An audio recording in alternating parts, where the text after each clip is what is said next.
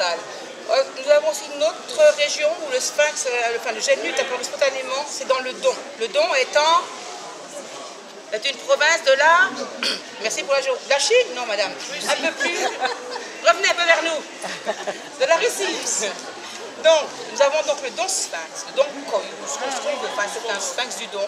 Alors, sa particularité à lui, c'est que le profil est un peu plus convexe, il est moins pinché, les oreilles sont plus droites, plus pointées à l'avant. Les par contre, alors le sphinx canadien n'a pas de moustache. Le sphinx, le Don Koi, a des moustaches légèrement tordues. On tolère un petit peu de duvet sur les pattes. On peut le trouver aussi avec une fourrure qu'on appelle velours ou bronze, c'est-à-dire le velours est un poil très doux.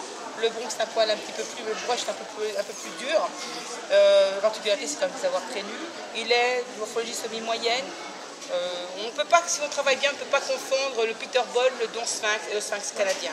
Là, ici, vous avez une très jolie femelle Sphinx canadienne, donc cette poitrine, cette allure de boxer, cette face de E.T., ses oreilles citron, ses grandes oreilles, cette gentillesse, la queue en forme de queue, voilà, les grands doigts. Un chat toujours très élégant et qui, quand vous le prenez, vous prenez un sphinx canadien, ce qu'il y a de bien avec ce genre de chat, c'est que vous le prenez, hop, vous le mettez en appui, de lui-même, il se trouve une position où il se dit, regardez, je suis la plus jolie, je suis très élégante.